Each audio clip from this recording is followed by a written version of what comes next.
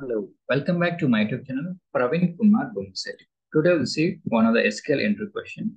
I'm having one table, it's having one column. In this amount column, we are having positive values and negative values. My requirement is that what, okay, I want to get positive sum and negative sum. Okay, so in a sense like what, 100 plus 200, it's 600 will be 900 minus 300 minus 100 minus 200. I want to get minus 600. Okay, this is one of the frequently asked question. Okay, so it's given they'll give like positive values and negative values. They want to get positive total and negative total. Okay, see, we'll see the logic. Okay, so this is my input column. What we should do first, we should take positive value separately and negative value separately. I want to get 100, 200, wherever negative value, we are trying to put 0, 0, 0. So same thing, opposite. So we see wherever positive value, I'm putting 0.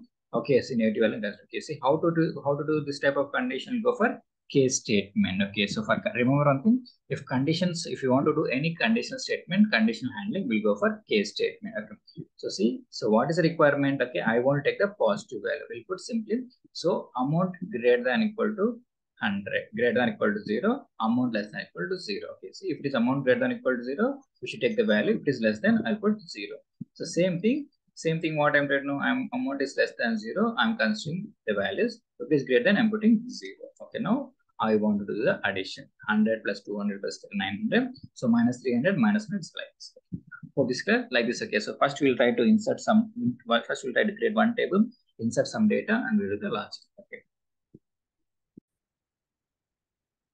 I'm trying to create one table. Okay. So insert some data. Okay. The same data I'm trying to replicate. Okay. So take the same value. This is DDL statement. Okay. So these are DML statements. So data manipulation language. Now this is we, we need to see the how can I see it by using DRL. That is select statement. Okay. So select star from test. Okay. So, okay. Now go back here. Now see the data. The same data we're getting. Okay. So this three requirements.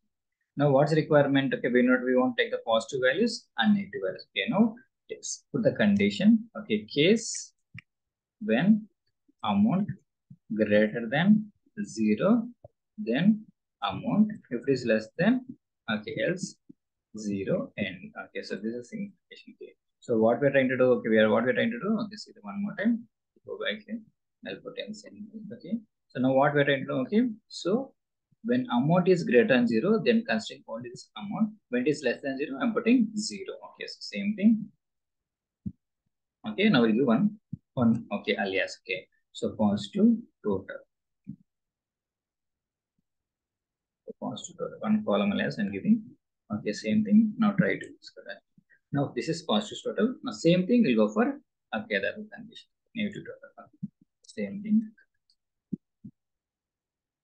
Case when amount is less than zero, then okay, amount else say negative total. So simple, but what happened into this question will be asked. Okay, now next step is that what I want to do addition. How can do the addition? We'll go for what? We'll go for aggregate function. So which aggregate function should we go for? We should go for sum. Okay. So say remove this thing. We don't want this value. Next step is that we need to do addition. Okay. How can we do addition? We'll go for sum. That's the one of the aggregate function. Sum of so same. Okay. Sum of positive total. Okay. And sum of negative total.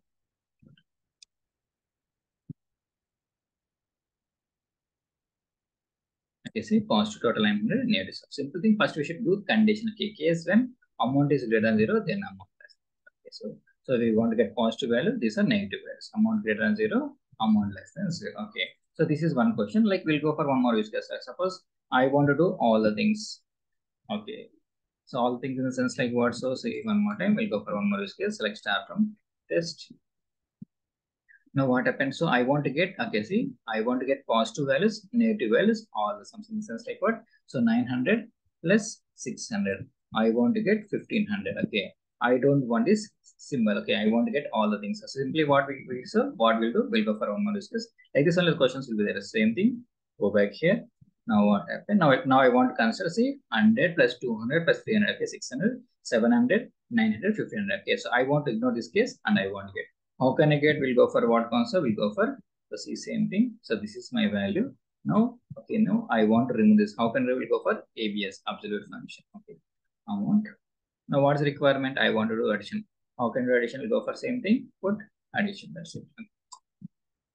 So take this like this. The interest will be different. Okay, so we need to understand sum of. So we'll get the sum of amount. We'll get here so far like this way can get okay. So total. Okay, we are ignoring the we are ignoring the negative symbol. Okay, just we are trying to add all the values. Okay, so positive values and negative values. Okay, so like this question will be like we should pick this. So to understand the concept, we can able to pick the query. Okay, so like the content, subscribe and share the channel.